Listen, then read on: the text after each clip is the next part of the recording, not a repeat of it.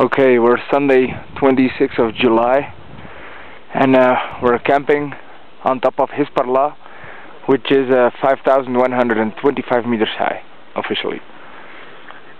And it's uh, pretty amazing. We just had an avalanche here on this side. It's only 100 meters away from our tent, which is here. And now I'm looking in the direction of Hunza Valley. This is the cooking tent with porters and guides. And there is the toilet tent. And there is the porter. Hello, porter. And this is the north side of the pass with Workman Peak,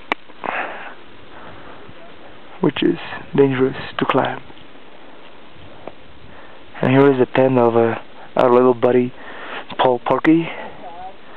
And I'm now looking again in the direction of Snow Lake. And there we have the the ogre, Baintha Brakk in the clouds. And there we have Latok 1 and 2 and 3 and 4 and so on.